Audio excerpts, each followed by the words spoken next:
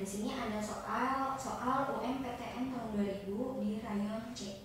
Di sini soalnya ada organel yang terlibat dalam proses pembentukan ATP.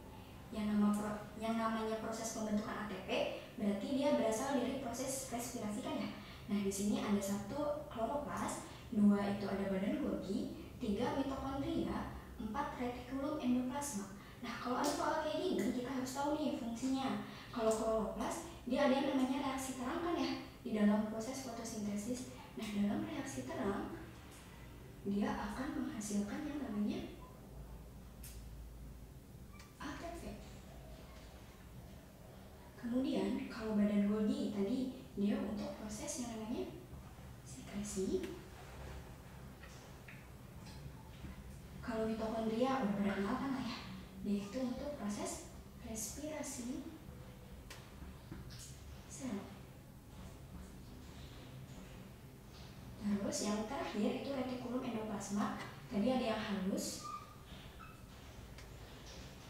Kalau yang halus dia untuk sintesis. Lemak kemudian ada yang RE kasar ini untuk menyimpan protein.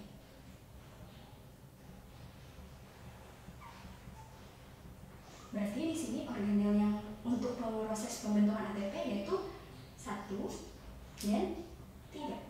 Kalau satu dan tiga berarti pilihannya B